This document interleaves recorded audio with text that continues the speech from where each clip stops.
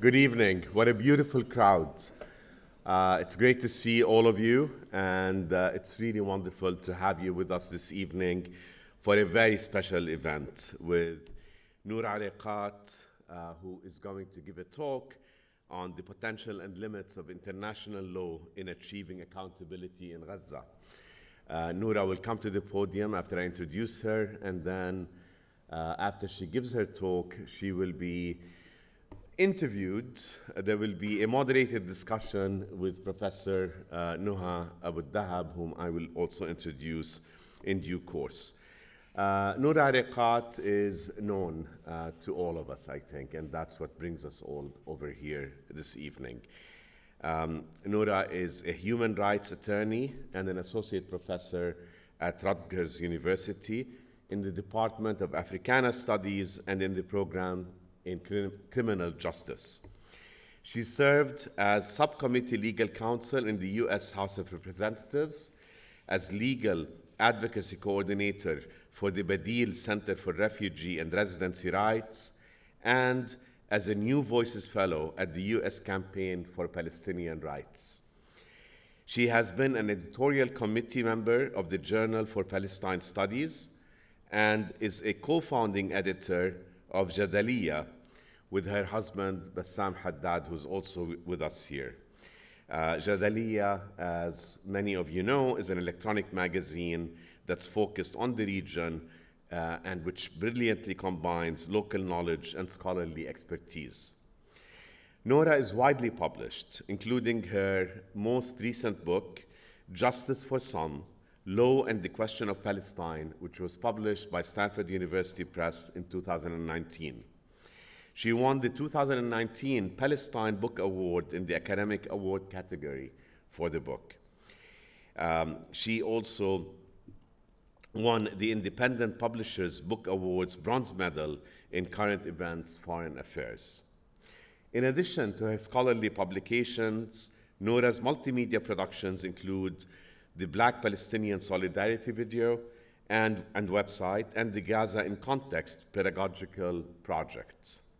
Her current research seeks to examine the activist praxis in contemporary renewals of Black Palestinian solidarity as well as technologies of surveillance and counter-surveillance in greater East Jerusalem. I'm assuming Abu Dis, which is where Noura's family comes from. Uh, Noura is a frequent commentator on CNN, BBC, NPR, and MSNBC, and she has published essays in the Washington Post, Los Angeles Times, and the New York Times. She earned her JD and undergraduate degrees from the University of California at Berkeley and an LLM in National Security from the Georgetown University Law Center. It gives me really, personally, great pleasure to have you with us here, uh, Noura, and to have you here for the entire week, along with Bassam and your daughter, Naya. Um, we feel like you're part of the family and uh, your interactions with the community, which included uh, visits in classes today, uh, guest lectures, uh, a workshop with students that will take place, I think, tomorrow, uh, Bassam's faculty seminar earlier in the week, and the screening of your book on Arab, Arabs and Terrorism, um, 2007 series um, it just enriches our soul and enriches our intellect, and um, it really is wonderful to have you here. Now, many of us have admired Noura from afar, and when you come to know her up close, um, it is those same qualities that draw us to her, that make her really very special.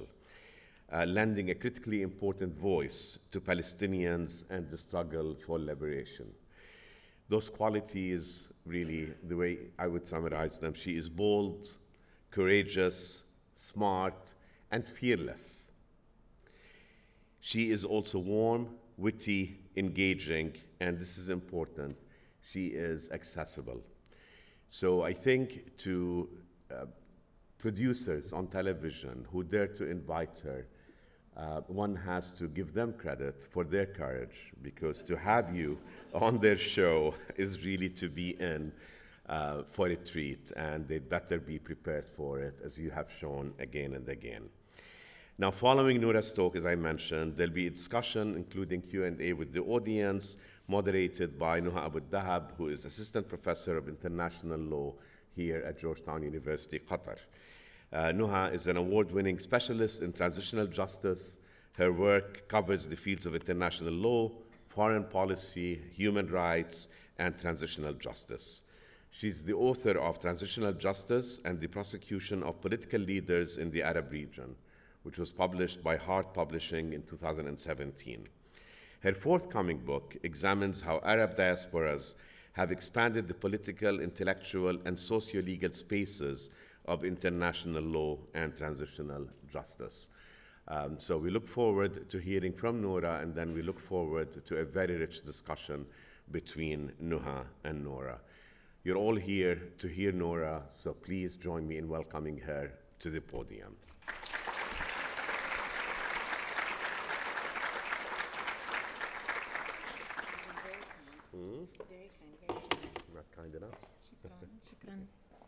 مساء الخير وشكرا كثير على الضيافة.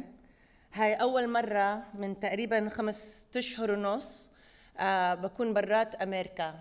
وما بقدر أقول لكم قديش تريحنا من وقت ما طبينا هون. ونحن حول شعب فهمان شو هو العدالة وشو هو الغضب والظلم. فشكرا كثير لكم وبكفينا بالعربي. I trust me يعني. uh, let me begin I'm going to read so that I can uh, stick to notes and leave as much time as possible for the Q&A. Um, and again, a special thank you, especially to Georgetown University, Qatar, uh, to Dr. Safwan Al-Masri, and to the faculty and the community that have welcomed us so warmly. Today is day 173 of genocide. We have gone from witnessing children asphyxiated from homes collapsed on top of them for five and a half months to now witnessing images of babies, children, and adults who have starved to death or who could not survive because of severe dehydration. Perhaps, like many of you, I had no idea what a starving baby looked like in their last moments.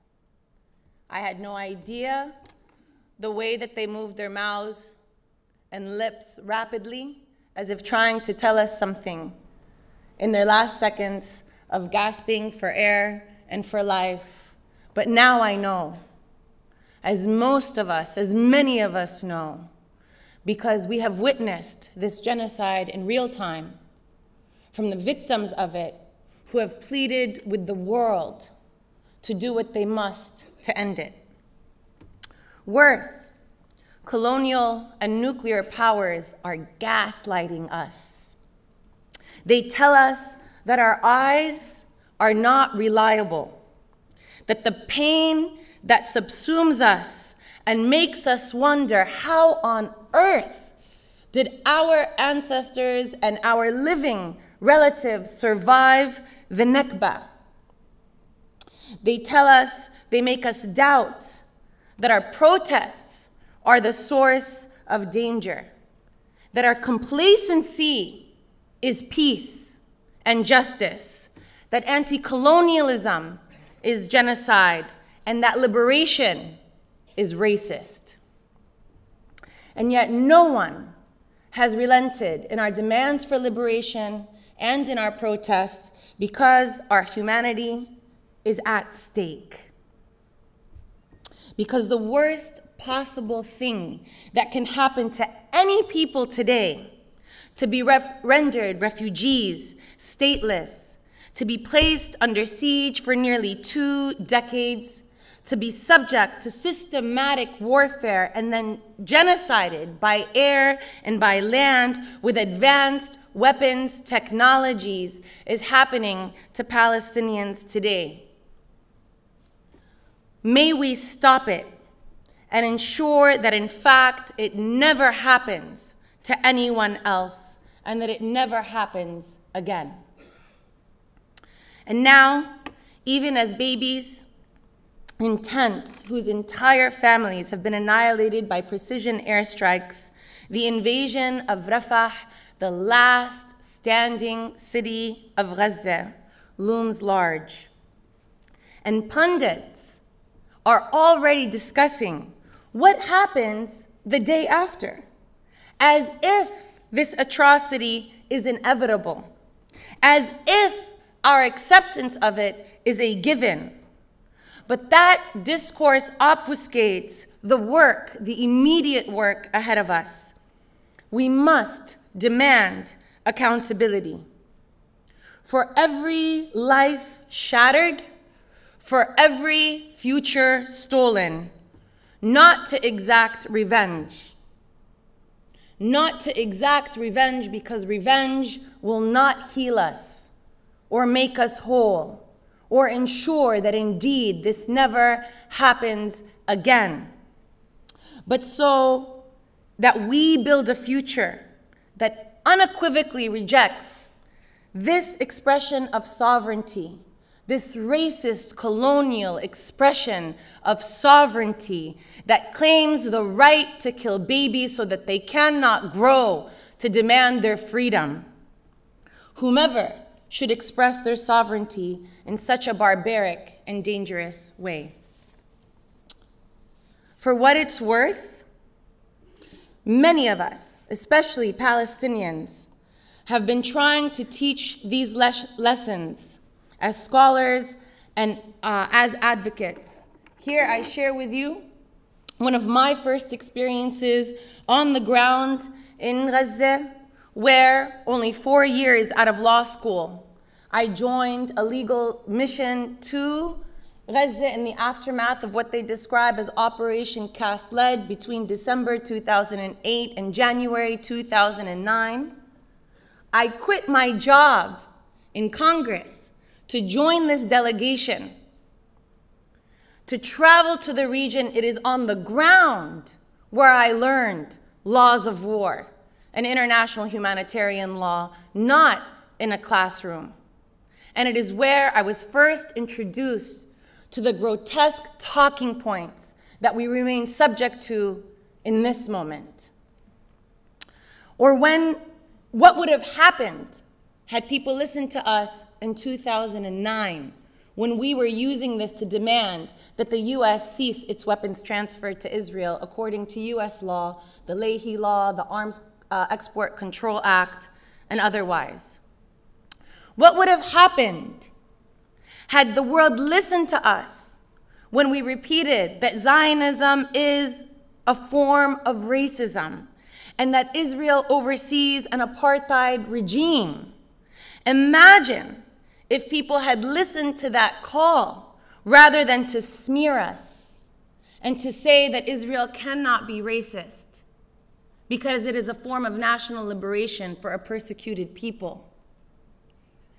But here we are, 173 days onwards of genocide, precisely because of a dehumanizing discourse that has made 14,000 children deceased a matter of some common sense or the outcome of tragic war rather than an alarming siren that has stopped the world, that should have stopped the world in its tracks, so that we oppose it unequivocally.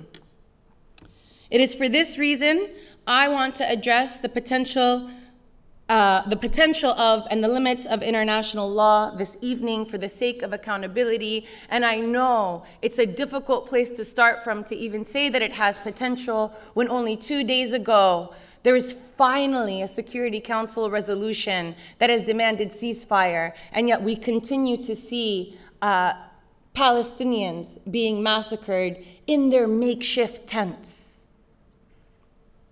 And I won't, I won't stand here to try to tell you why sh you should believe in the law. I'm, I'm a critical legal scholar, but I will illuminate how it could be a tool for us in this fight.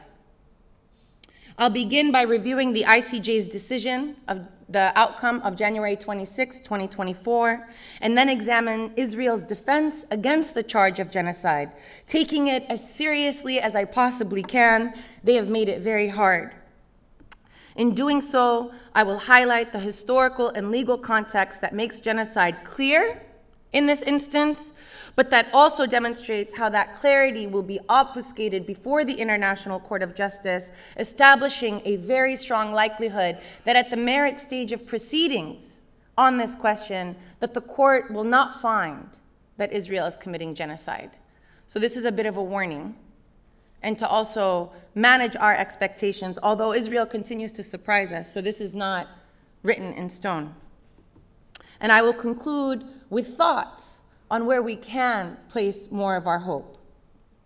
So, as a note, this analysis, in particular regard to genocide as a legal framework, in particular, as inscribed in the 1948 Convention, right, raises some problematics for us. The primary challenge is that something that legal scholar Rabea Eghbariah wrote about brilliantly and published in The Nation when the Harvard Law Review refused to publish it even after its editors accepted it, when he said, namely, that the Nakba is not an internationally recognized crime in international law. The Nakba features ethnic cleansing, apartheid, and more recently, genocide. It combines hot and cold violence as it accomplishes territorial consolidation and genocidal expansion. And failure to examine the Nakba on its own terms has created this legal and analytical challenge for us now, which is a problem of legal translation. We have to describe the Palestinian condition through analogy and through drawing on legal frameworks that come from other geographic, social, political contexts. And although genocide and apartheid are universal, they remain closely associated with the case studies that canonize them, namely the Shoah at the hands of the Nazi regime and apartheid rule in South Africa.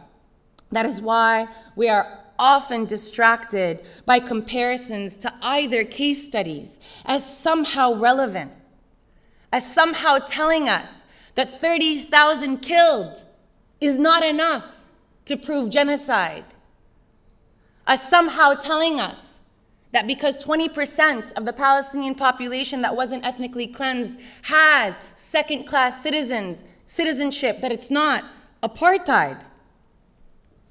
But we have to examine these as we do as legal scholars, as treaties taken to a high level uh, of abstraction and application.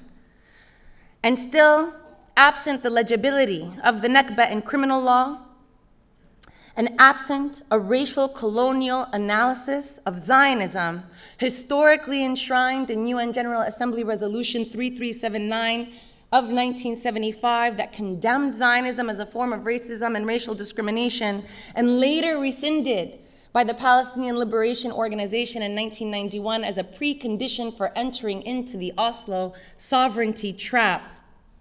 We are making our arguments today in translation as genocide and apartheid.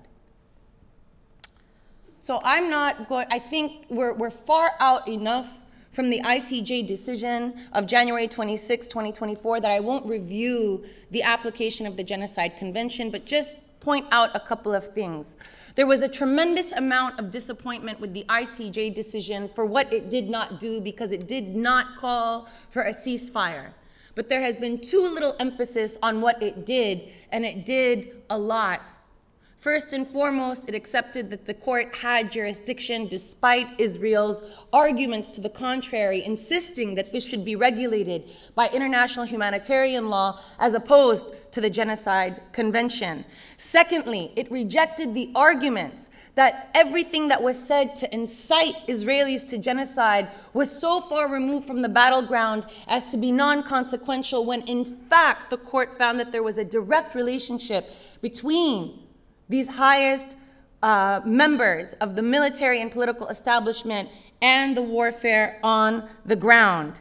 It rejected Israel's arguments that there were that its precautionary measures of dropping leaflets and telling people where to go and creating safe zones that weren't safe in fact belied the intent to kill members of the group, to cause serious bodily harm or mental harm, to deliberately inflict conditions of life calculated to bring about the Palestinian group's physical destruction in whole or in part, and to impose measures intended to prevent births in the group in order to stem a future, in order to destroy a people.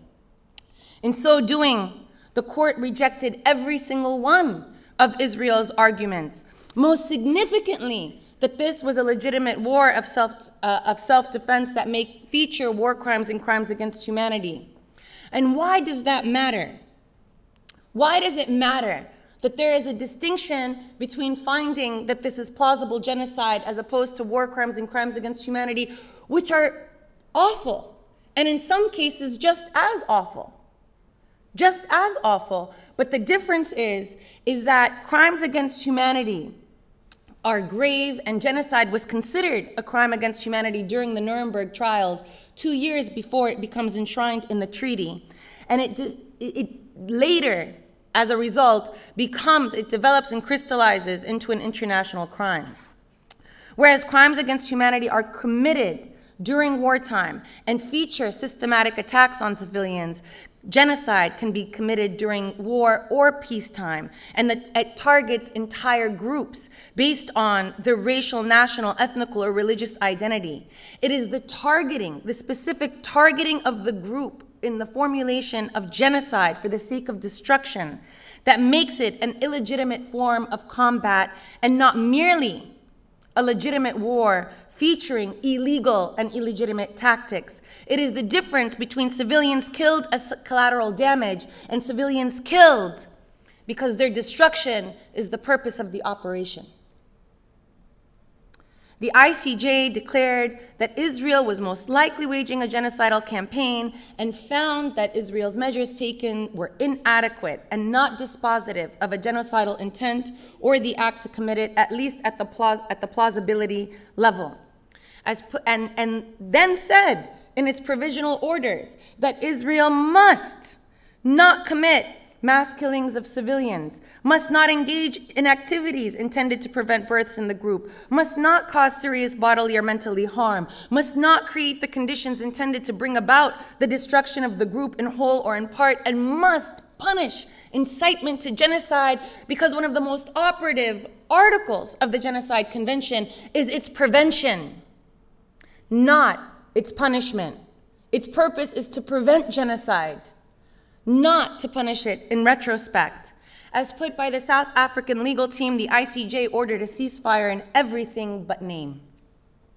Israel must impede and un, must Im, uh, implement an unimpeded flow of humanitarian aid, must not bomb safe zones, must not bomb hospitals, should not be laying siege to Al Shifa Hospital, to Al Nasser Hospital right now, must not bomb residential areas, must not commit field executions and further mass displacement. Either Israel must conduct its war entirely differently or not conduct it at all.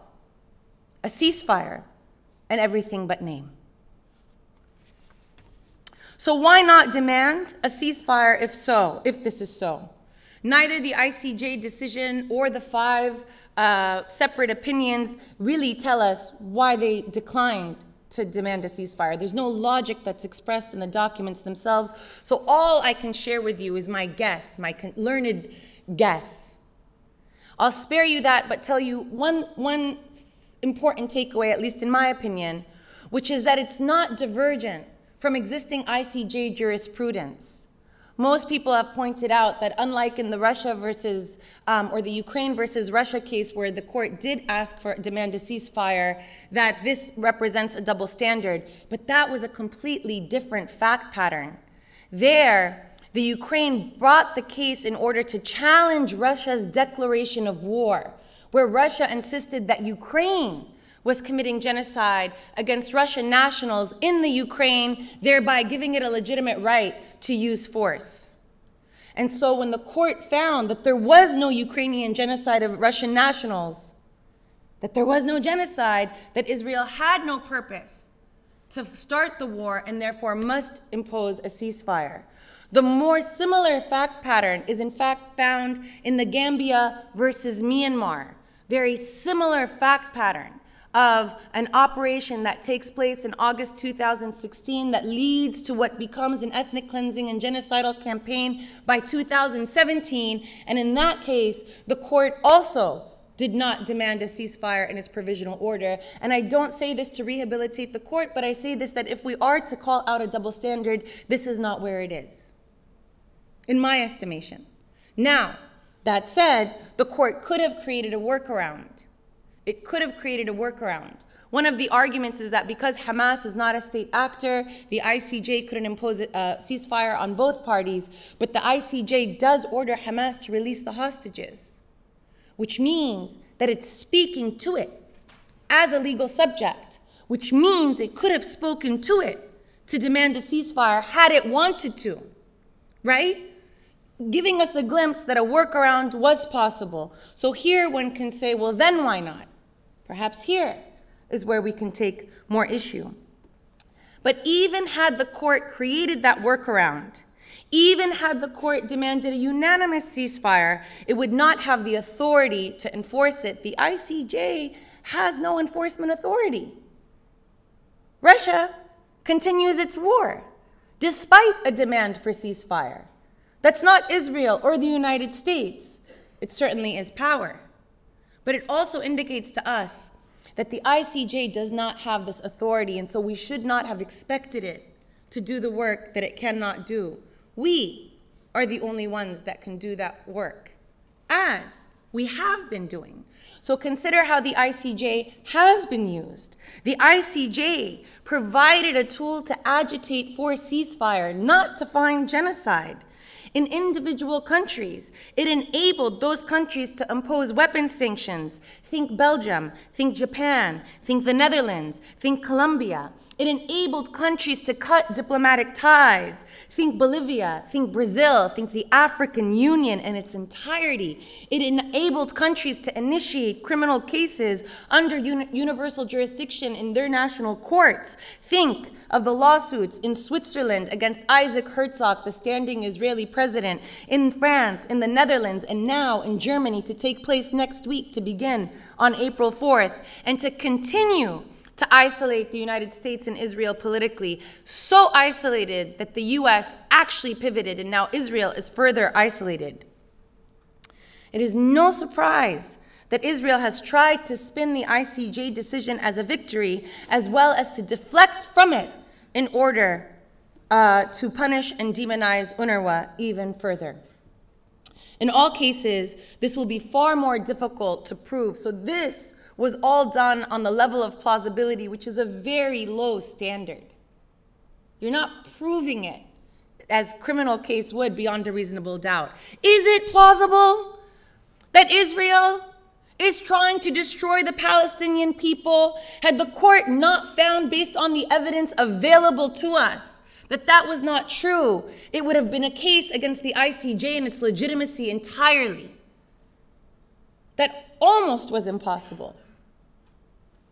But at the merit stage of proceedings, which will happen anywhere between 6 and 12 years. In the case of Bosnia versus Serbia, I think it happened 12 years, 1994 it was brought, and then 2006 it was heard. Right, at that stage of proceedings, this standard is much higher and more difficult to overcome.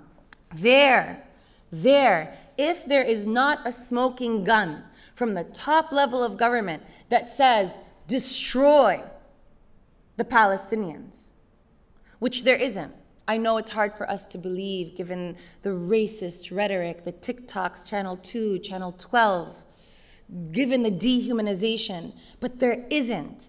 In all of their documents, they have protected against, themselves against this accusation, insisting that this is not against the Palestinian civilians, that this is against Hamas, right? So we know that there is likely not a smoking gun that indicates this intent.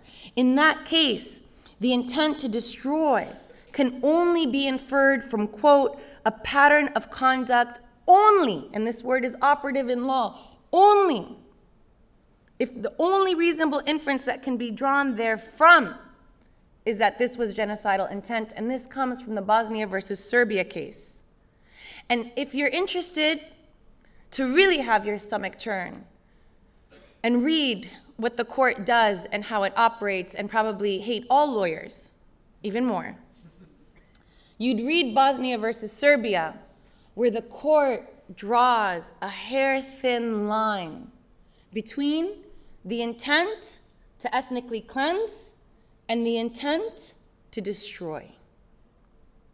And now, what we're seeing, another intent that Israel is displaying to us, an intent to force Hamas to surrender using terrorist tactics. But surrender versus ethnically cleanse versus destroy are examined very distinctly and have different legal consequences in the law. And so, for the rest of my, that, that's really sad, yeah? I've disappointed you of what's to come. Well, that's what I've come to do. Okay. Uh, I'll end slightly on a different note, but that's what I've come to do. But le- let me now shift. I said I'm going to do my best to, to share with you the Israeli arguments. Now, the Israeli arguments before the ICJ were quite laughable. Most of them were ad hominem attacks and disparaging, right? But if you take them to a level of abstraction and I'm doing that for our sake, not for their sake, right? I want to show how, how the court itself, how their arguments still fall flat, but why the court won't be able to refute them, why the law is not going to be sufficient to overcome their argument. Note that the Israeli argument in general is based on the fact that this is an, that the outcomes are an unfortunate war. Okay? It's just a war, and all wars are tragic. Remember Dresden, not taking account any of the irony that Dresden leads to the post 1945 international human rights legal regime, right? Anyway, they don't take us seriously, but I'm going to do it for them. There are two main arguments in this war of why this is not genocide are number one, Palestinians are not targeted for who they are, they're targeted for what they did right? They're not targeted because they're Palestinians. They're targeted because they attacked Hamas and pose a threat.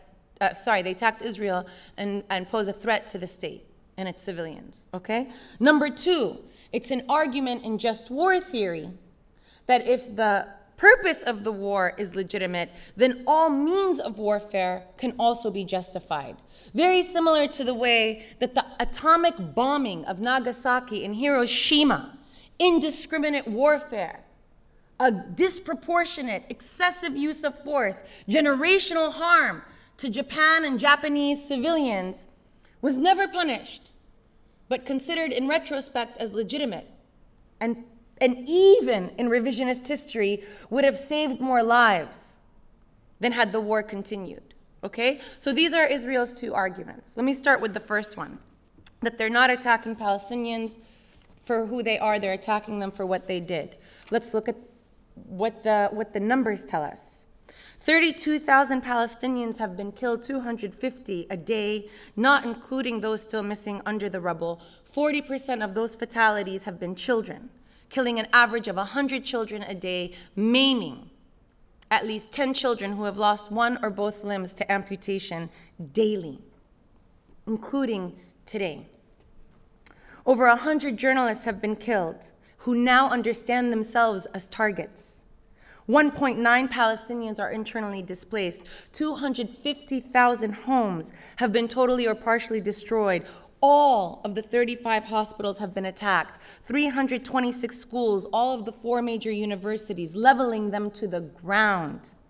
247 mosques, three churches, 199 heritage sites, 1,690 factories, libraries, cultural centers, bakeries, even 16 cemeteries have been bulldozed. Because of the deprivation of food and water, four out of five starving people in the entire world today are in Gaza. And 335,000 children are at risk of irreparable cognitive development disability, because of dehydration. New words have been created to describe the scope of this destruction uh, domicide, epistemicide, scholasticide, as put by Professor Shireen Sayed quote, any honest observer of this war understands that the target of Israeli force and its US supplied weapons is the Palestinian civilian. Hamas combatants are collateral damage. Israel does not dispute these numbers, but wants to cast them as Hamas's responsibility for shielding that even if they were targeted in the course of attacks, they were targeted because Hamas placed themselves in the hospitals, buried its weapons, uh, dug its tunnels under certain homes, thereby making everything a legitimate target. I'll get to why this makes absolutely no sense, even in you know modern laws of war. But I just want to point out one thing that has been taken for, for granted, especially in the media, which is that Israel has insisted that Palestinians who are support Hamas, who are members of Hamas, even if they do not have a role in its political or military leadership, even if they are not combatants, that their adherence to a Hamas ideology makes them legitimate targets. And in the Genocide Convention, genocide does not protect political groups, thereby making them legitimate targets. And yet, this is absolutely not true. Civilians do not lose their impunity, their immunity, excuse me, for what they believe. You can have the worst thoughts in this room. If you are not picking up arms, you are a civilian and cannot be targeted. Thankfully, the ICJ recognized Palestinians as a national group and rejected this argument in part. But now let me go back into something that the court is not going to take into consideration, which is what Palestine Studies offers us, which is the historical offering that Palestinians have been constructed as a threat, not because of what they do, but precisely because of who they are. They have been presumed guilty by virtue of their refusal to disappear or surrender their claims to sovereignty Palestinians are racialized as dangerous, not because of how they may individually harm Israel, but because their national existence challenges Zionist settler sovereignty. Consider, for example, how the right of return of Palestinian refugees is framed as an existential threat. Calling for the right of return is equated to calling for the destruction of Israel in this construction the use of violence and the logic of collective punishment against Palestinians has underpinned Israel's military uh, strategy in the founding years of the Israeli state, even in cases where they posed no military threat. This is Plan Dalet, introduced in March 1947, that sanctioned the targeting of Palestinian villages accused of providing assistance to Palestinian militants, or that might serve as strategic basis for attacks in the name of achieving a defensive system.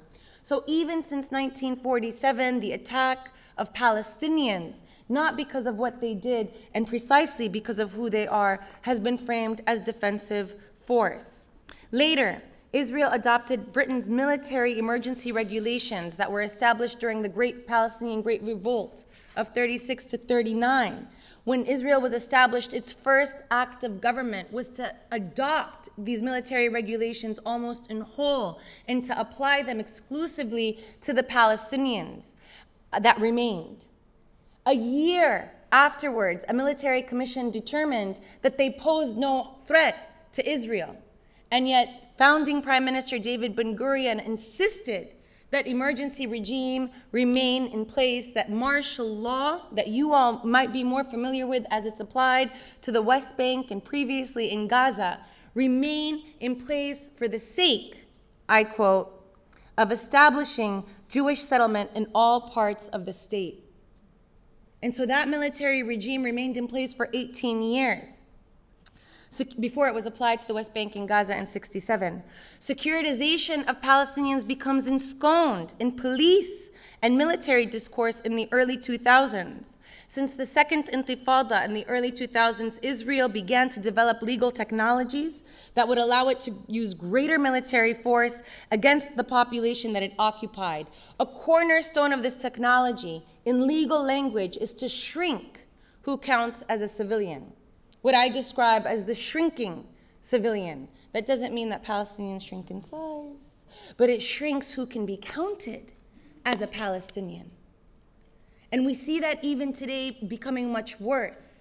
That Israel, for example, is calculating that, uh, that its military advantage shouldn't be measured in any single attack, but across the entire operation. For example, in other example, it redefines who can be considered a direct participant in hostilities and irregular combat. I'm sorry if this is too legalese, but let me just give you this example, that civilians who pick up arms can be targeted during the time that they pick up those arms. Well, Israel in 2006 in a Supreme Court decision changed, removed the temporal scope, so it doesn't matter if they put down their arms.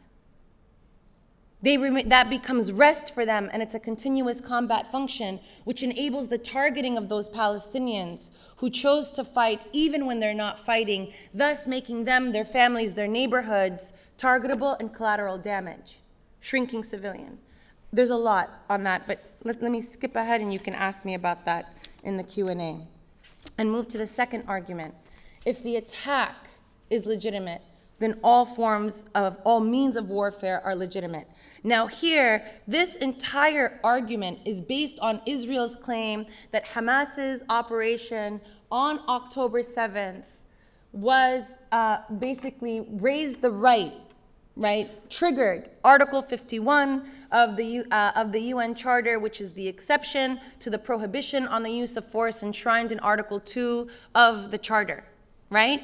And even and, and Israel is drawing on the precedent that the United States set when Al Qaeda attacks, Al Qaeda attacks the United States in 2001, where up until 2001, non state actors could not be considered as actually launching an armed attack. They had to be met with uh, law enforcement, not with military force.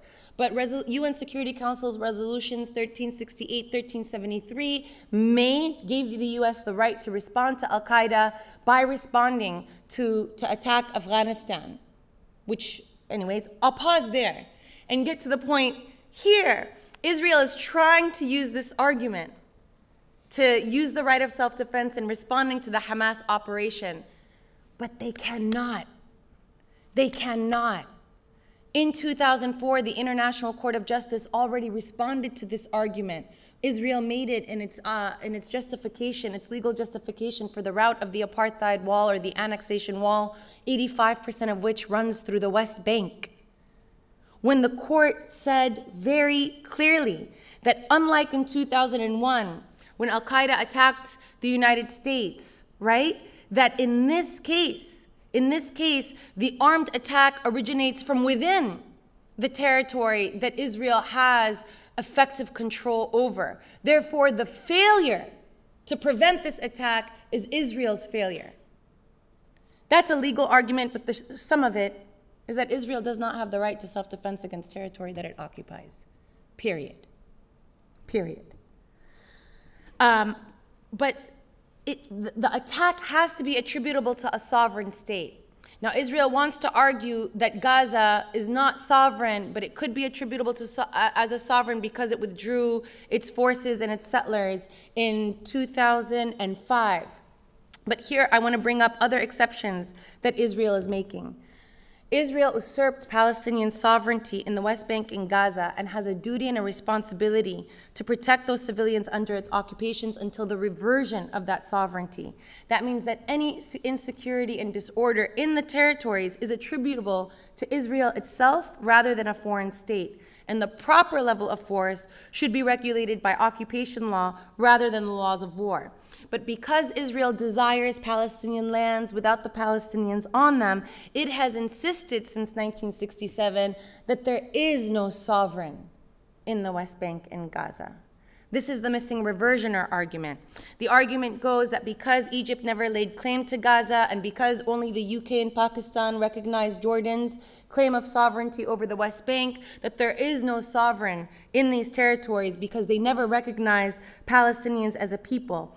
Therefore, the territory is disputed and not occupied. What's the outcome of that? If it's disputed, you don't have to apply occupation law, including its prohibition on the settlement of civilians in the territory that you occupy as a matter of law. You can just cherry pick and apply occupation law as a matter of fact. Israel is claiming that the Gaza and the West Bank are sui generis, Latin for unlike anything else, where it's an exceptional legal framework. There's no analogy. There's no precedent. So this is how legal thinking works. You get a fact pattern.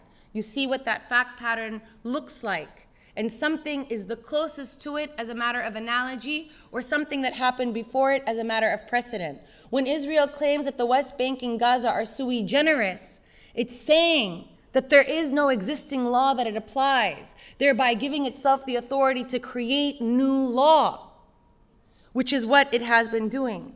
And under this exceptional framework, Israel in 2000, uh, 2001, during the Second Intifada, described the Palestinian Intifada as neither a civilian uprising that should be met with police force, nor is it an international armed conflict of a nascent sovereign struggling for its liberation, right? Because the former, it would have to acknowledge that it governs over a population that doesn't have any voting rights. Awkward.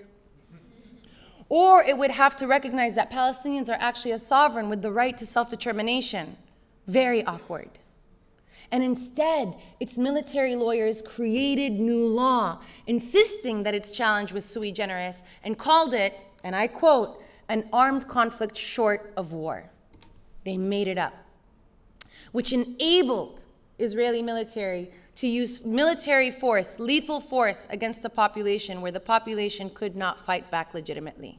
Whether they target soldiers and military installations or they target civilians, all of it becomes illegitimate, criminal, and terroristic. Uh, and in, upon its disengagement of Gaza in 2005, Israel then declared Gaza was sui generis.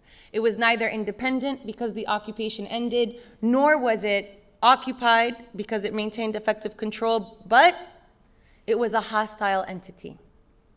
The International Criminal Court rejected that argument in 2014 in its dicta, declaring that Gaza remains occupied territory. So, if we then reject Israel's first argument that this is a legitimate war based on self defense, then what else can we make of its operation, let's examine what its operation is attempting to do. We are told, we are told that Israel has three military goals in Gaza, which is to decimate Hamas, to retrieve the captives, and to turn the Palestinian population against Hamas, right? Five and a half months of no red lines, and Israel is nowhere closer to achieving any of these military goals. Hamas is launching operations from the middle of Gaza City, has the arsenal to continue. The hostages and the captives that have been retrieved have been retrieved through diplomacy, not the military operations. And from what we understand, Israel doesn't really care about the hostages as they've shot them with white flags raised, as they've allowed them to starve to death. And certainly, this idea of turning Palestinians against Hamas is not true. Not only has Hamas become more popular amongst Palestinians, they've become much more popular in the Arab world and, in fact, across the globe, according to US intelligence. So, what then? If if not, if though if that is not what Israel either Israel is trying to achieve these goals and its army sucks. I'm sorry, I was looking for the word. Its army is inept, right? And frankly, maybe, maybe they should just stay on TikTok, right? Or that's not the goal of the operation at all. That's not the goal of the operation at all. And, and for many of us, it has raised the presumption that that's not the goal of the operation, that Israel has an other, less explicit military goal framed explicitly as the removal of all Palestinians in Gaza to achieve sustainable security, or less explicitly, as the tacit suggestion that the decimation of Hamas is so worthwhile that 2.3 million Palestinians are a justifiable register of harm. In both iterations, it is the establishment of what I describe as Nakba peace. Nakba peace. I know that seems odd. Nakba, catastrophe, peace. But think this is Zionist math, so it doesn't add up. Hmm? Um, but it has a historical precedent in Palestine. And in fact, the former Shin Bet director and national security member Avi Dichter explained in November, who, by the way, we sued in the United States in the Southern District of New York in 2005. So he remains here as well because of a lack of accountability. But Avi Dichter said in November 2023, quote, we are now rolling out a Gaza Nakba, Gaza Nakba 2023. That's how it will end. And in fact, that's precisely what we're seeing. Now it's a battle, and what they're considering, right, is the equation. Is it the retrieval of the captives? Is it the retrieval of the captives and a return to a very destructive status quo ante that was never normal life for Palestinians? Or is it the sacrifice of their captives in order to reoccupy the north of Gaza? This is literally what is on the table before us in very explicit term.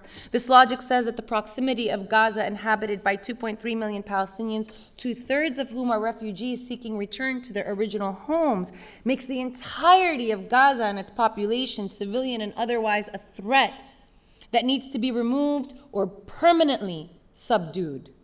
Accordingly, Israel has insisted that to achieve its military purpose of sustainable self defense, it should not be subject to red lines, which it has not been subject to red lines.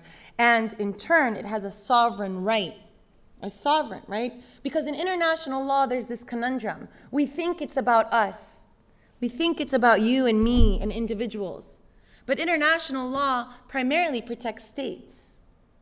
And so our existence is constantly being challenged which is why, for example, the US imprisons one out of every three black adult men, right?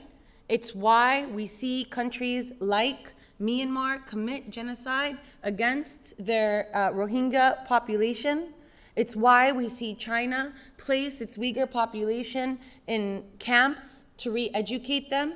How is it that this can take place? Many of you say because laws are fiction. But in fact, the law is protecting the state because the states have this right. And Israel is claiming that it is its sovereign right, as every other colonial and settler colonial power has before it, to commit genocide in order to achieve its security. I'll spare you with the historical precedent where this comes up in the early 2000s and competes with the withdrawal plan. This was presented by Giora Eiland and competed with Ariel Sharon's plan for withdrawal. Obviously, the latter, um, the latter prevailed. But what I, what I, I will say is that we are witnessing a Nakba. We are witnessing a Nakba that features removal, exclusion, colonial settlement, framed as necessary for Israel's durable security, as exclusive as Zionist sovereignty. And the recent ICJ decision concluding that Israel is plausibly advancing a genocide is part of the effort to reject this exception, it's another exception of sui generis, unlike anything before, right? However, given the invisibility of the Nakba in international criminal law, the law will probably not save anybody. Moreover, the Nakba was committed in the shadows of the drafting of the Genocide Convention. Is, we're talking about between 1946 and 48, right? and the Nakba was committed between 47 and 49. Palestinians whose self-determination was forcefully thwarted, a key feature of the Nakba, could not accede to the newly drafted con Genocide Convention. And Israel, viewed as genocide's canonical victims, could not be conceived as its first accused. The international community has continued since then to normalize this Nakba, to actually make it precedent through the recognition of Israel, through Resolution 181, through Resolution 242, through even more recently the ICJ case that's contemplating the legal status of the occupied territories. As forceful as that was, the key logic of that argument is that there should be two states. There was no challenge of the Nakba. That that happened and it could be accepted and it's an exception to all the violations as long as you recognize a Palestinian state in the West Bank and Gaza. So this exception has been normalized in the law and even by ally states as well as the formal Palestinian leadership. And today Israel is continuing its tradition of exception, the exception that the territories are not occupied but disputed. Its exception that its warfare against Palestinians is not an international armed conflict or a, a, civil uprising, but an armed conflict short of war. An exception that the Gaza Strip is a hostile entity. And now an exception that what it's doing in the Gaza Strip is not genocide, but in fact self defense. So, how do we reject that exception? How do we reject that exception? I, do, I would not place my hope at the ICJ. And as much as I said I thought I liked what the ICJ did, I, I exalted it to some extent, and I supported it amongst the legal teams that wanted to bring it. But I didn't do it in order to find genocide. I supported it beca because it became, becomes a tool for us in order to agitate for ceasefire. So oftentimes we use the law in counterintuitive ways, and I look forward to getting into that with Professor Aboueldahab, uh, more on that. And I also skipped over the laws of war and why Israel's uh, war is actually outside of the bounds of accepted um, warfare that regulates guerrilla combat since 1977. But let me close on this note. Oh, I was just showing that the world knows what's happening. Let me close on this note. We can argue as much as we'd like about what Israel is doing and the precise meaning, and I, I, you must be frustrated even in this moment. You know, who cares what it's called? It's wrong, right? Well, the law cares. And the law will split hairs, which is why that's the law will follow what you do in the in on the streets, in these auditoriums, in your classrooms, in your places of worship, in places where you have access to diplomatic fora. That's where it matters. Um, but what we're witnessing is precisely that. We are witnessing an unprecedented mass mobilization across the globe. Millions and millions of people who I think, I'm convinced, they were the reason, even, that the Republic of South Africa felt empowered to bring its case, not the other way around. We, we know this from also polling. Youth and racialized minorities in the United States, which is really significant, not just because that's where I'm coming from, sorry, but it's really significant because this is a US war. It's not US complicity, this is a US war on Palestinians. And so what we're doing matters in order to stem that war. Youth and racialized minorities in the US who for the past 20 years have led movements for racial and gender justice, who have led movements for gun reform, who have led movements against climate catastrophe have been primed to distrust government and to distrust the adults, all of us, who have failed them. They see Israel together with white supremacy and capitalism as a threat to their future. In recent polling, 67% of respondents under 35 and 64% of respondents of color opposed Israel's actions in Gaza. High school students, high school students who have not even received a, a, college education and have not studied Palestine as much as those with PhDs who still can't decide, who still tell you this is complicated, understand that there is nothing complicated about the murder of babies and about starving them to death. And high school students have staged walkouts, rising calls around the world for a free Palestine, voice more than the commitment to ethical solidarity with Palestinians. Free Palestine has become a rallying cry for collective liberation around the world. This dramatic shift is likely a generational one, and it may not bring improvement immediately, the improvement that we need to see in a meaningful change, especially for the Palestinians in Gaza, but it does signal hope for in the future of our humanity. The question of Palestine will likely be at the center of that commitment to a future, and it's being reshaped forever by this rebellious new generation, and that is a very good thing. So, with that, free Palestine, free us all. Thank you.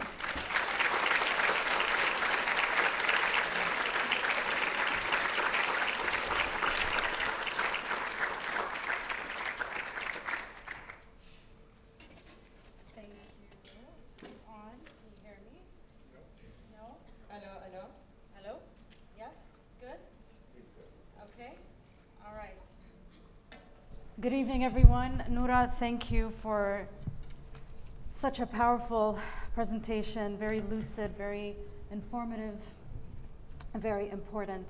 Um, I have a lot of questions. I'm going to give what? you. A, I thought it was so clear. Give you a minute. give you a minute to. No, no, go ahead. To have your water. Um, maybe I should put this over here. Okay. My first question, and I have a very quick follow-up question to it. You say we need accountability. Can you explain what that accountability exactly looks like or should look like? Mm-hmm. What do you mm-hmm. mean by that? That's an excellent question. What does it mean when we hold someone to account, right? Well, first of all, it means, first and foremost, it means centering a victim and a survivor and hearing their story to explain to us what they've experienced. It means the opposite of gaslighting, but it means being able to honor these stories. It means actually taking collective action on behalf of those survivors so that we don't leave it to vigilante justice in order to achieve the necessary components that will make them whole. Now, that can look like different things in different cases, but I think at the very, very least in this case, it means an acknowledgement without controversy that what we've seen for the past five and a half months is genocide, is illegitimate, that Palestinians in this case deserve reparations, deserve to be made whole again, frankly deserve freedom, although I don't think that that's going to be the direct, that's, the, that's what we have to continue to do. Mm-hmm. Um, mm-hmm. And for many, many people, that means punishment of Israel. I might diverge on that. Punishment of Israel and Israelis. I think it's far more important for us to be acknowledged, right? Um, and to be recognized and to have the world act on our behalf rather than continuing to act on our own behalf mm-hmm. with a, a, a few allies here and there. I think so. Think about the way, think about, you know, international tribunals. Those have been sites of accountability, mm-hmm. right? And that resulted, for example, in, in just recognizing the stories that weren't heard before, the confrontation with those who caused you harm. In this case, I would imagine that it, it results in a complete shift in policy, arms embargo on states that you know, commit genocide. It means cutting of diplomatic sanctions. It might be the exclusion of a state or its removal from the United Nations. You know, its return upon certain these things can be negotiated. But the whole idea and the way that I see it is that it's, it's a, where centering the survivor is followed by a collectivity that takes on responsibility for them so that it becomes universalized and not just individualized. Because you say, you, you also say that now is not the time to talk about the day after, or that it sort of obfuscates. But can you, can you really separate the two? I mean, isn't, isn't this accountability that you were just talking about integral to what happens after? Well, here's why I say that. Because most people who talk about the day after put us in this loop that they've put Palestinians in for now seven decades, mm-hmm. right? What's your plan? What's the blueprint? When they're really asking us, if we allow you to be free, can you promise that Israelis will be safe? That's literally what they're asking us when they say the day after. So give us the political arrangement that would work, that would center Israeli prerogatives, right? And even now, right, the discussion is around one state, two state, a collectivity, what happens. And I just feel that that's so offensive. When we can't even tell Palestinians there is a world that exists where you are safe from harm. And so accountability is that, is the guarantee that the right to life is not at threat. And they're the only ones whose right to life is actually under threat, whose actual right to life, mm-hmm. whose children who can survive is under threat. And so when, I, when we're talking about the day after, it's making that distinction that before we get into the politics, how will we, you know, and what is politics? Politics is the negotiation over scarce resources, right? Before we get into that discussion, and here the scarcity is land and sovereignty over it, that there has to be a discussion about fundamental rights in our natural world that stem from religion, be it the Quran or the Torah or the Bible, whatever, what have you, mm-hmm. that guarantee a right to life and dignity. And, and here is where I feel like we can't, ju- we can't skip that stage. Mm. And I think that too fast, I think that too fast, people, the world leaders in particular, want to sweep this under the rug and not deal with it. And not look, at, let Palestinians look them in the eye to hold, them, to hold us responsible. We're responsible. And I think that has to happen. And then we can talk about now what do we do, mm-hmm. right? But I, I, there, there's a desire to just move past this mm-hmm. almost completely, mm-hmm. um, and and I think that that's I think that that's really offensive. Okay, okay, and you outlined very clearly how Israel um, creates new laws right? You gave a, few examples. The shrinking of the civilian, which I know you've written extensively about. Um, this whole idea of an armed conflict short of war, etc. But don't you think, I mean, so Israel can create all the new laws that it wants. Then you have certain cases such as the 2004 Wall opinion, which has proven to be quite, you know, crucial in simply in debunking the right to self-defense argument. So should we really be worrying so much about Israel creating new laws? Is that a rhetorical question? I'm trying to, basically, I'm asking you do you think that, uh, given the limits of the ICJ and international law in general, these cases, such especially the 2004 Wall opinion yeah. and its significance to the right to yeah. self-defense argument, yeah, what what is? Could you expand on that? Sure. Two things. Number one, absolutely, we have to be worried about the exceptions that Israel is trying to create in the law. Because once they create the exception for Palestinians, they become exceptions everywhere else in the world. What's to stop Myanmar from saying, Israel did it? We do it, right? Think about the way that Israel created an exception for extrajudicial assassinations, prohibited in order to kill somebody, you need to have some sort of hearing, right? Guilty, not guilty, some sort of fair trial, which, you know, you can say all you want about that, but the idea is that outside of the law, you can't assassinate people. Well, Israel started assassinating people in 2001. And, one, and initially, it was opposed. Mm-hmm. Even though the Bush administration picked up the policy of extrajudicial assassinations in its so called war on terror, right?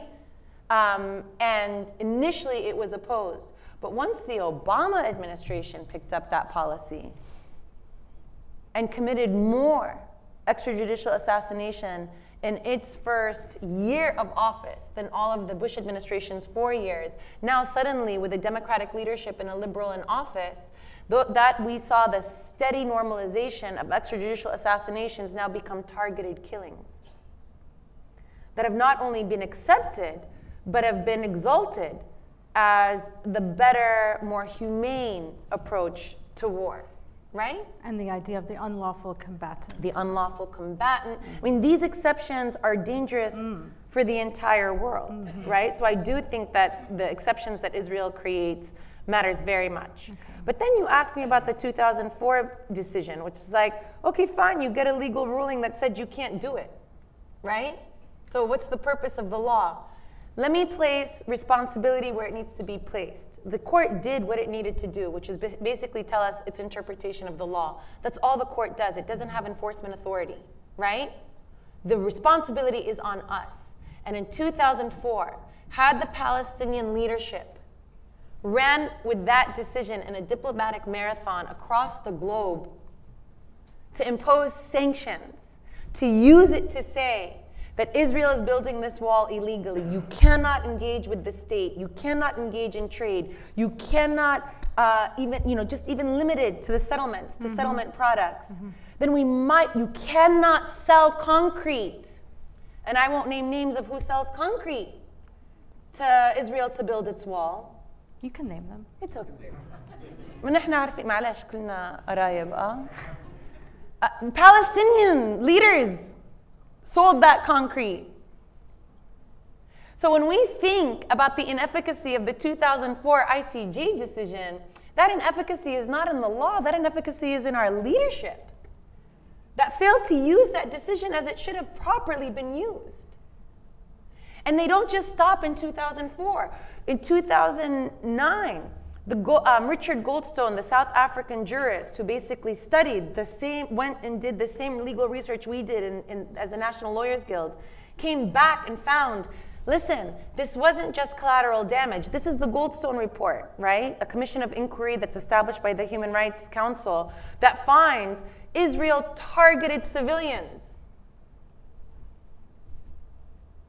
We, the Palestinian leadership, dropped it because they were promised a better negotiating position. So there's this idea that the law is not doing its work, but the law doesn't do anything. The law is a tool.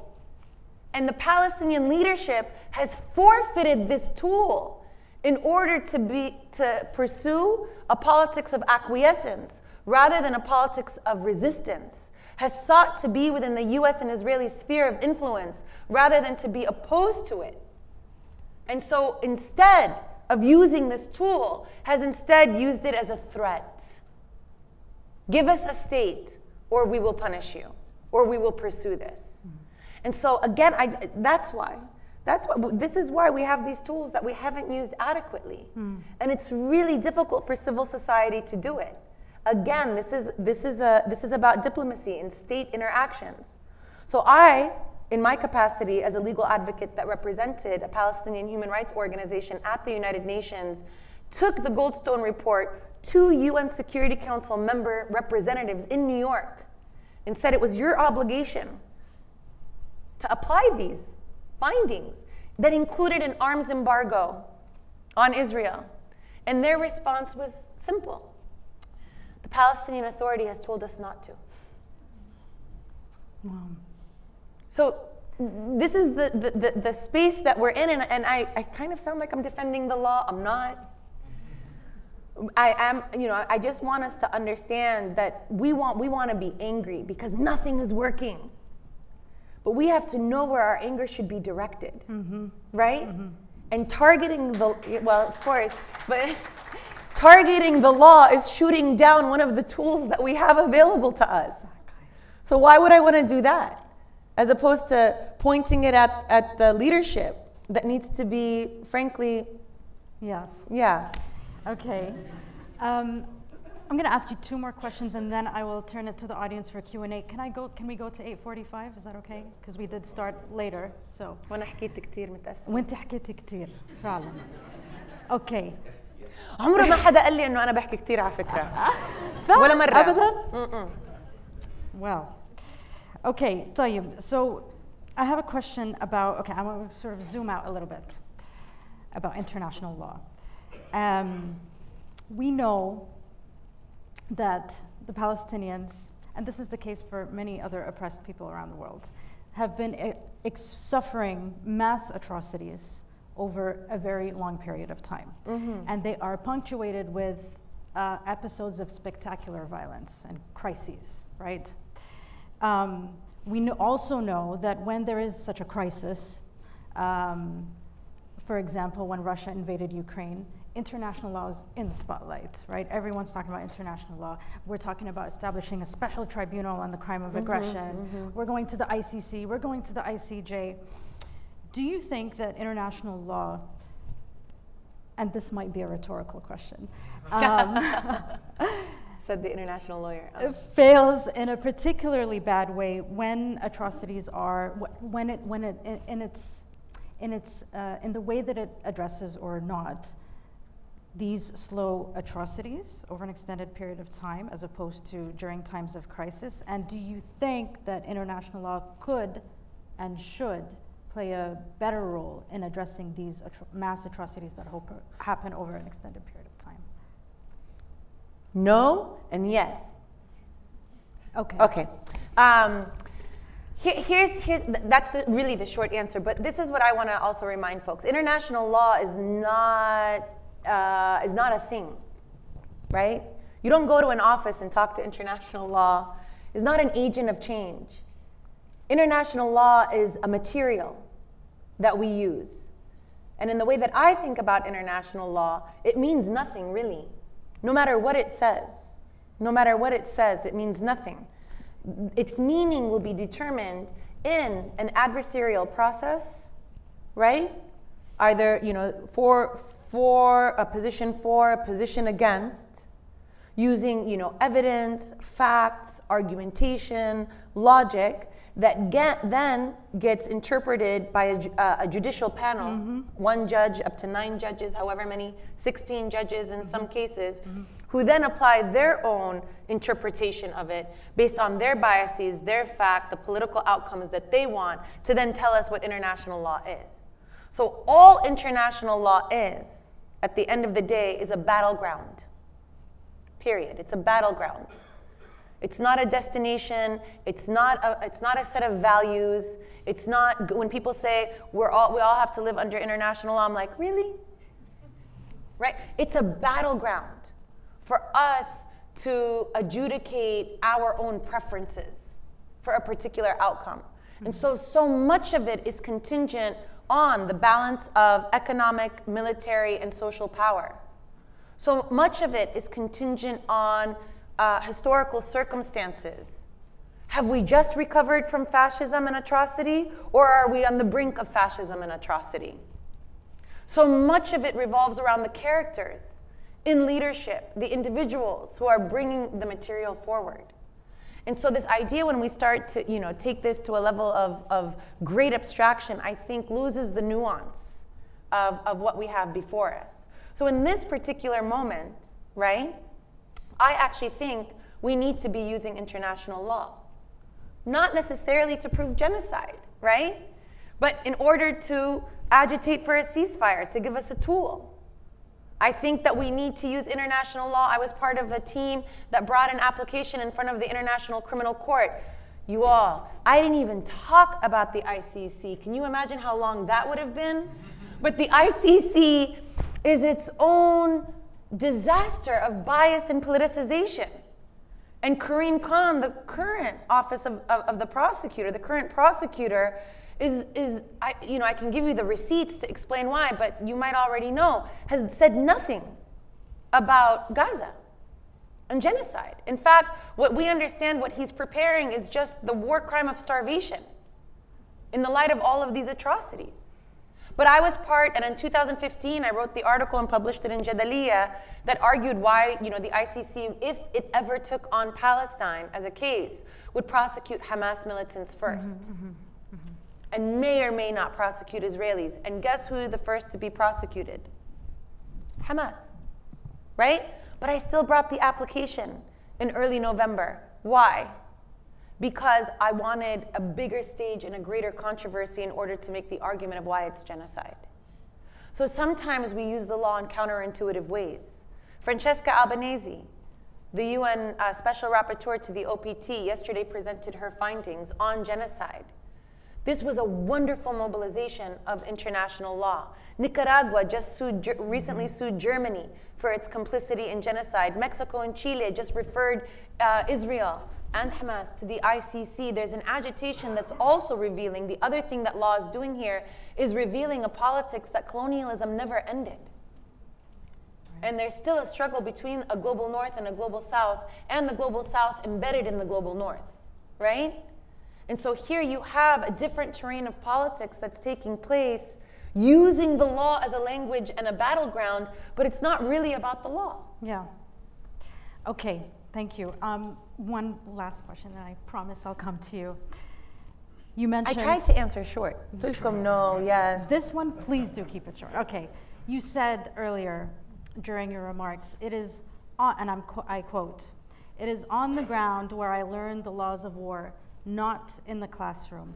And I can now envision all of my students unenrolling from my law courses this fall. So please explain um, what you meant by that. Sorry. Um, you know, there's this. I, I, I, love, I, am a, I am a professor. And it's so ironic. I tell my students, you know, you really have to read. This is the one job you have. And you'll regret it that you don't read because later you're going to be too busy and you're going to mm-hmm. wish mm-hmm. you had as much time as you did to do all this reading. Yes. Right? Because there's so much that it's available you're in abundance. redeeming yourself already now. Um, that you, well, I went, I go back to school. I, read, I, I vindicated my own experience, right? Yeah. I went back to school because I also felt I was like, wow, I did so well, but I really didn't learn in the classroom. I spent more of my time learning and, you know, agitating. As in, okay, sorry, now I'm, I'm working against your interests. Um, but in order to vindicate that experience. Now, what happens is many of us and many academics, no offense, but many academics oftentimes stay on the track of academia, and that's really what they know. So they're engaged in the text and engaged in the footnotes and engaged in discussions with one another. Mm-hmm. And there is an entire world mm. from which those texts are coming mm-hmm. um, that provides context and richness Absolutely. that actually reshapes the way that we understand those texts. Okay. So I could very well read the Fourth Geneva Convention, the Hague Regulations, 1897, 1907, mm-hmm. the 77 additional protocols, right? The Genocide Convention, the Apartheid Convention. But I'm on the ground I'm on the ground um, in a rimal or in uh, Khuza'a. I think Khuza'a was really hard for me mm. because that's where I'm learning about families that were, anyway, um, but that's where I'm learning about people who were targeted yeah. with white flags and having to explain that and looking in the law to explain how is it that they can be targeted and what is the distinction between reckless targeting and what is the distinction between direct, that and direct targeting and them as collateral damage? Um, yeah. yeah. so you come back and you learn these lessons so that when, you know, uh, Dr. Uh, Masri says that I'm fearless, it's not so. It's, the, it's just that I've seen it. I've seen it. I know they're lying. And I want to share that with as many people who want to hear about it. Yeah. Extremely well put, Noura. Thank you.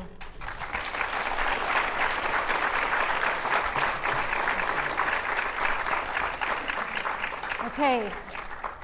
Finally, Q&A. Um, do we have mics? Yeah. Yes. All right. So please raise your hand. We have one. He- ah, okay. Wow. I'm going to take I really thought I was clear. Clearly not. Can I take three questions at a we should have done a discussion. I'm sorry. Uh, three questions at a time. Yes, Is yes. that okay with you? Sure. Okay. I think there's a big concentration over here. So let's do one here in the second. Oh, say one in the first row, one in the second row, and one in the third row, please. And if you could please very quickly introduce yourselves and keep your questions super short. Concise, concise. Hi, my name is Hani. I am Palestinian, Jordanian, Canadian, lived here for four years. Uh, a question for you. Uh, it's very enlightening to see that you've highlighted our Palestinian leadership with the different avenues they've had mm. and the choices they've made. And uh, a lot of them would argue that they, they use those as a, as a negotiation. And obviously, for how many years, we're not going to say how many years this has been, it's not been working.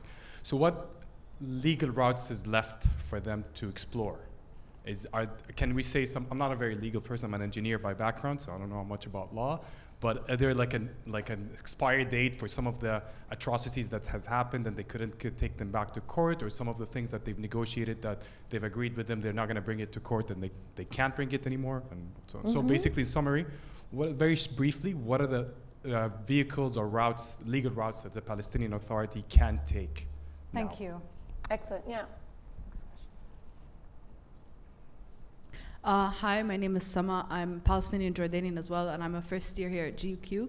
Uh, my question is more about Hamas in terms of legal framework and international law. So, as you said, Gaza is, by according to international law and UN conventions, an occupied territory. So, wouldn't that basically classify Hamas as a group that has the international right to defend itself against its occupier by any means necessary, including arms? Thank you.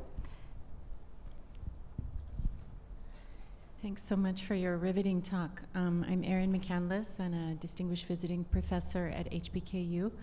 Um, and I, I feel that you've described uh, international law as basically an ever changing social construction that's really rooted in power dynamics, right?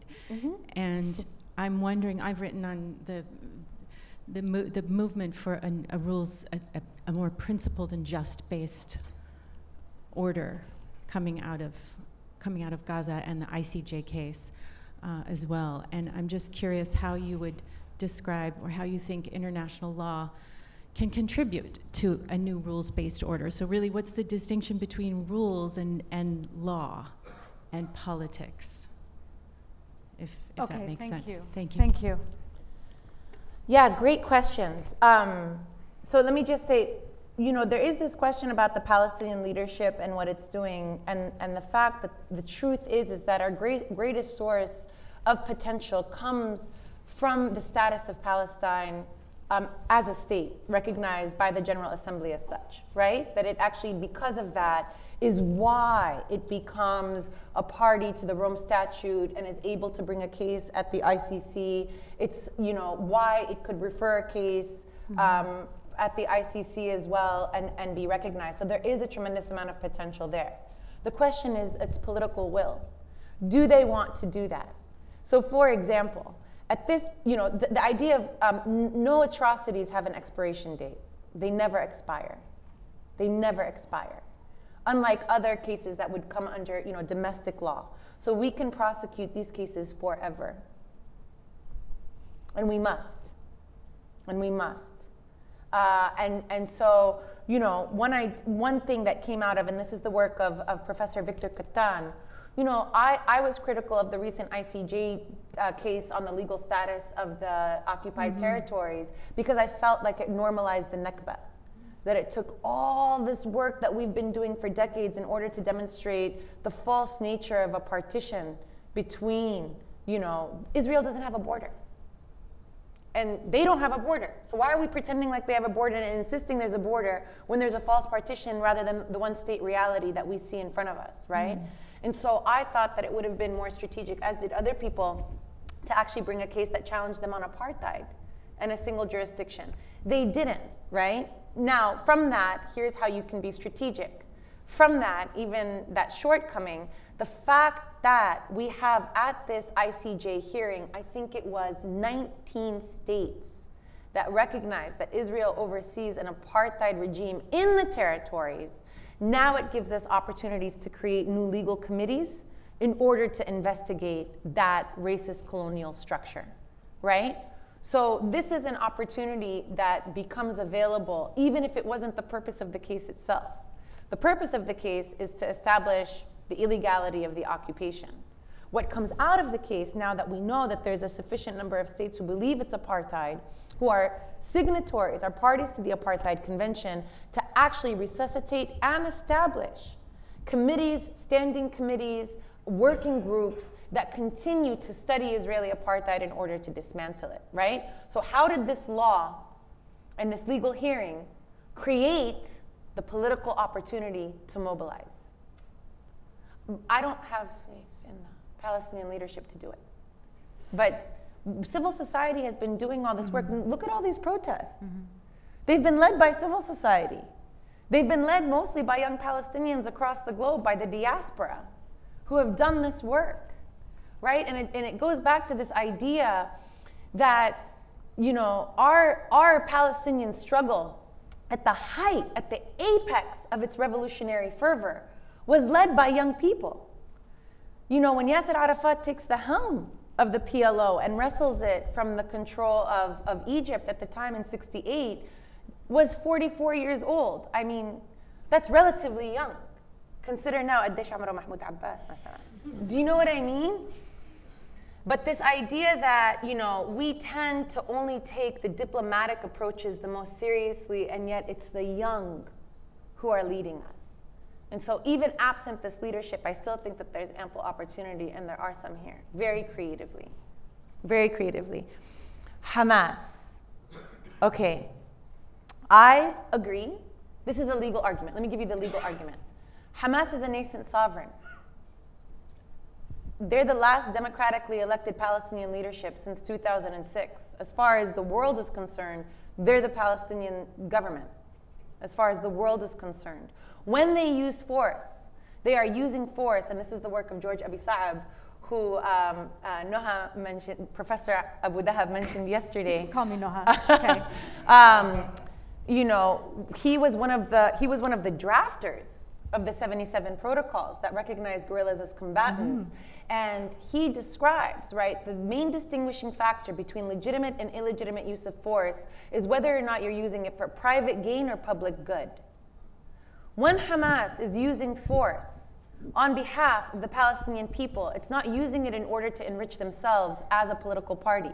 In fact, some may argue that they've actually relinquished the right to govern after this, right, and their authority to govern. But they have used that right on as a public good on behalf of the entirety of the Palestinian people, right? International law recognizes that as legitimate, not by any means necessary as you describe, but in fact by really strict regulation, right? That that use of force enshrined, you know, in Article 1, subsection 4 of the 77, you know, first additional protocol, right? Describes that peoples who live under alien occupation um, and racist regimes, Racist regimes, yeah. have the right to use force. They certainly do. But that force has to be regulated also by principles of distinction between civilian and combatant, by proportionality to achieve a military advantage, you know, by other rules of not actually, you know, uh, showing your weapons so that you uh, don't conceal them, what the operations look like, and so on and so forth. So no, if we are going to take make the legal argument, even you know those that are using the force for what you may consider a more noble cause, have to also regulate it within that framework as well. The last question law as a social construction. Yes, that's exactly right. And the law changes meaning over time. To, for example, Security Council Resolution 242 in 1967 was considered as an instrument of defeat to the Palestinians because it didn't recognize them as a political, as a juridical people. It recognized them as a refugee population and recognized Israel as a matter of fact. Mm-hmm. And then enshrined this quid pro quo arrangement of peace for land. So Palestinians, for years, every single you know year, the PNC decried it as a, a, a tool of imperial liquidation of the Palestinian people, until 1987 right? Or 1988, specifically in the Palestinian Declaration of Independence, where Palestine is, which is written by Mahmoud Darwish, right? Um, or uh, translated into Arabic by Mahmoud Darwish and written by Edward Said, amongst others, who described 242 and 181 as the basis of the Palestinian state, and now 242 gets rehabilitated. So look at how 242 changes meaning across mm. time, right? Okay, so yes to the social construction. But this idea of rules, law, and politics, just the last thing on this, and maybe this is a question somebody will ask. We can say as much as we want about a rules based order, but those rules don't apply the same to all people. And we've seen that most vividly in this case. And so I'm setting somebody else up to ask me about racism. Okay, can we take another round of questions? Okay. All right. Over here, uh, one, two, three, fourth row over here. Put your hand up, up high. And then in, yes, over here. في صبايا Huh? هذا الشاب الصغير Oh, هنا. Okay.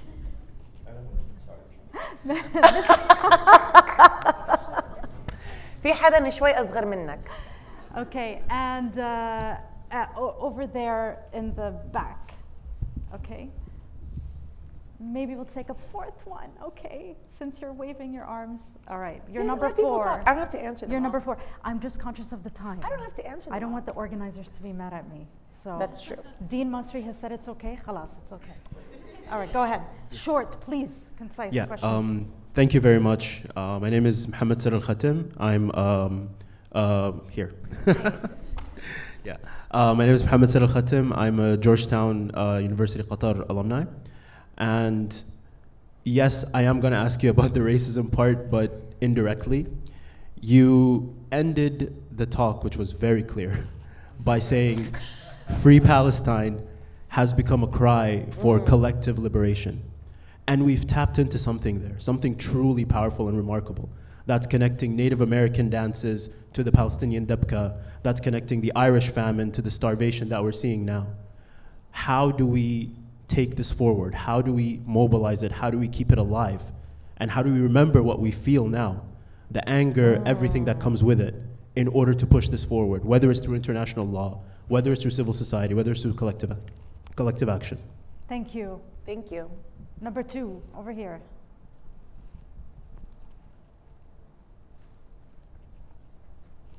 Put, can you put your hand up? Yep. Yes, thank you. Um, my name is Mohammed Al Fatih. I'm actually uh, a high school student, and it's really a pleasure meeting you. And I really consider you as a superhero. So, Oh.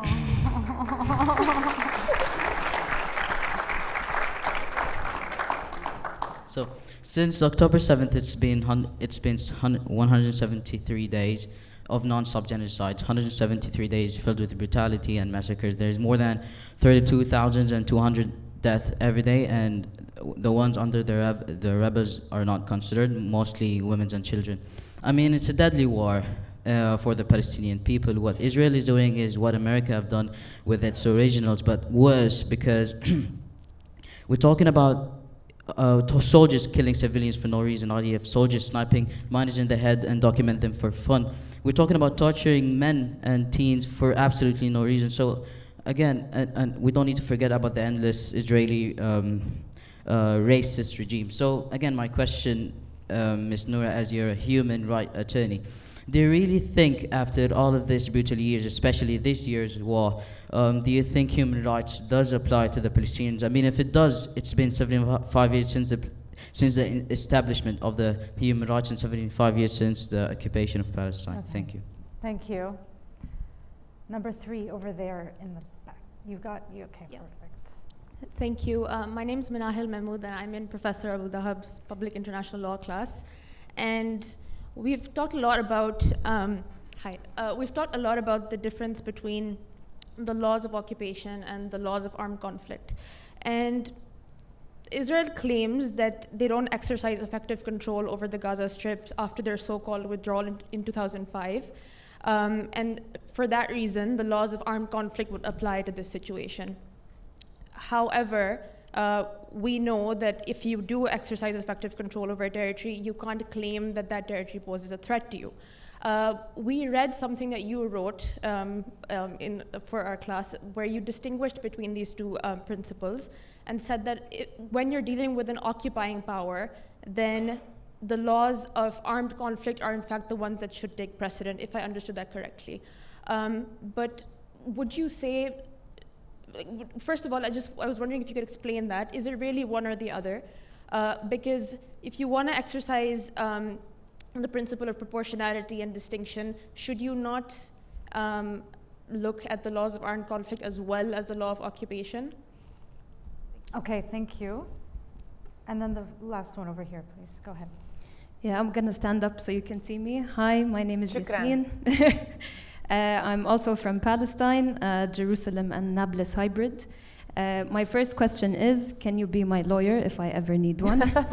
and my second question is about the shrinking, shrinking the civilian. If I understood it correctly, basically, I mean, anyone in the West Bank in Gaza, if they ever kind of like held arms or something, that means they never go back to a civilian in which they can't be targeted. Is that right? So, does that also apply to the Israeli population and their citizens, where it's an entire population that is one enlisted in that is once enlisted in the army? So, can't you apply the same to them, where they were oh. once, you Yeah. know, in the IDF? So, do they ever go back to just a regular citizen status? Thank you. Thank you. Yep. Great. Easy questions. Thanks, everyone. I'm going to answer this young man's question first. And I just want to tell you that you are so wonderful and so strong and so inspiring. Thank you for being here. Thank you for using your voice and for showing us. I really appreciate your question. You asked, given all of these atrocities, do human rights really apply to Palestinians after all this time? And you're bringing up a question about this contradiction of who counts, right? Which really gets us into what we were answering before, which is what is the work that racism is doing here?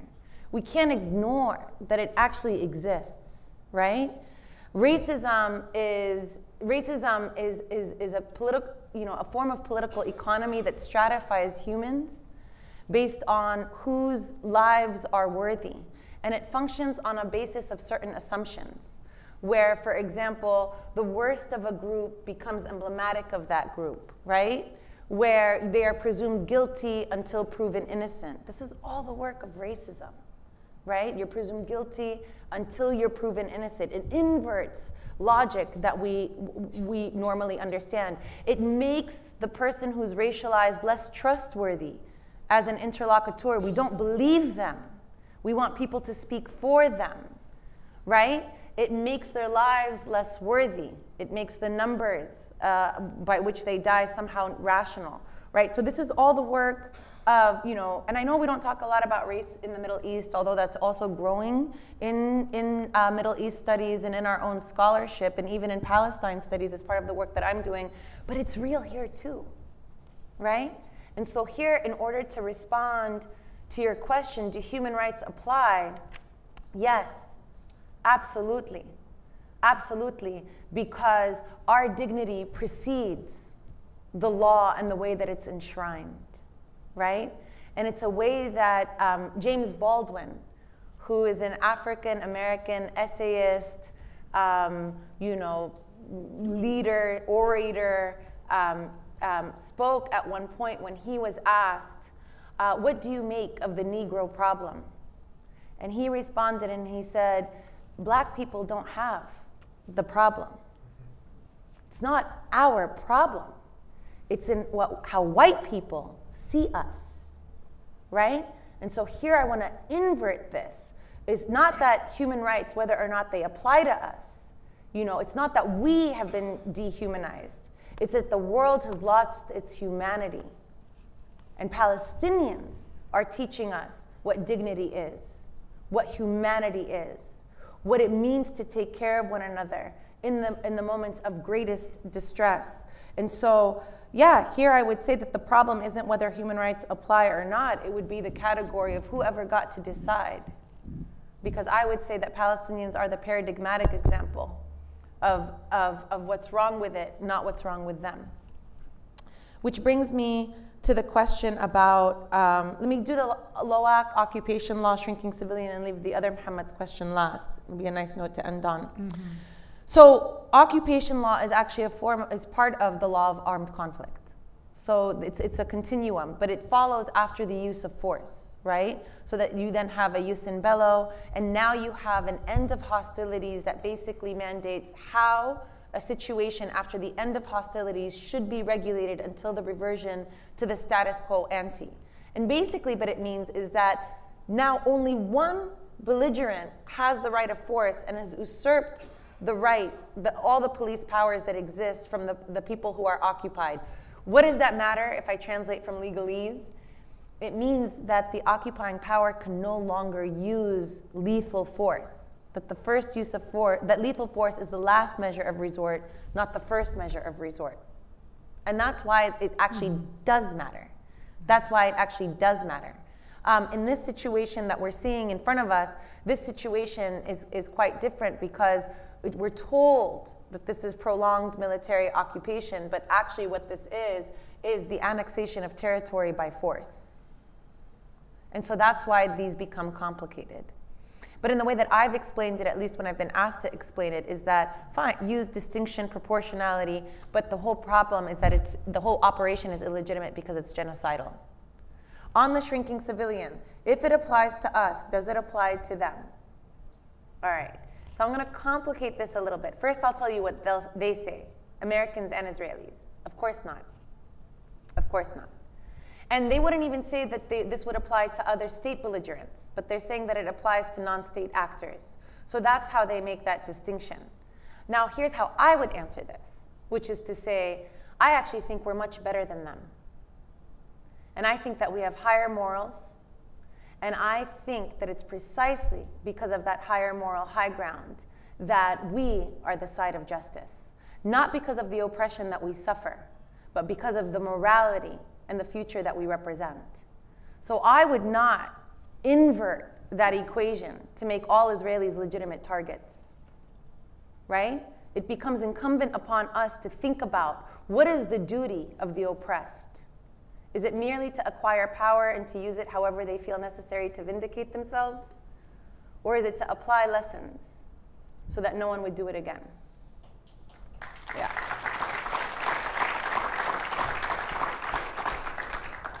Um, and then finally, Muhammad, Free Palestine. I'm, I'm, quoting you. I need your last name so I could do that properly in, in a, a citational practice. How do we remember what we feel? How do we remember what we feel? And I think that that would be a great thing. You know, I think I've heard a lot. Coming from the United States, we're in the heart of empire where there's a lot for us to do. and a lot for us to protest and a lot for us to boycott and a lot for us you know to get arrested for. And then so i come here and folks are like what do we do? You know what i mean? What do we do? Um, and i think that that might be something for folks here to do which is to create these collective monuments that capture how you feel and what we feel in this moment and that can be in, in a collective writing practice and a manifesto that becomes enshrined. It could be in a sculpture that's created. It could be in a quilt that's done collectively. It could be in a form of letter writing that you know is all placed together. You know, um, Qatar is actually um, has evacuated at least 1,500 Palestinian injured children and their families. What does it mean to do this work with them? So that it remembers that they are not passive recipients of our affection and you know our, our you know sympathies but they're agents of change that also help us feel and create that you know that memento for the future that will ensure that we also do not forget. So i encourage you um, to do that. I encourage you to do that as much as you can. Thank you. Thank you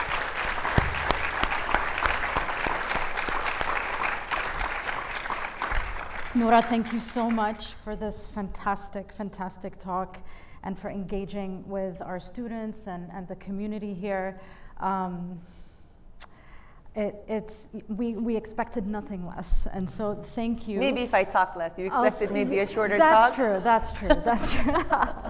no, we can listen to you. I think forever. Thank you. Um, and thanks also for taking time out of your very busy schedule to come and be here with us, and at this especially difficult and horrendous and tragic time as we witness genocide in real time, as you said. And thank you. Thank you. Thank you for having me. Thank you.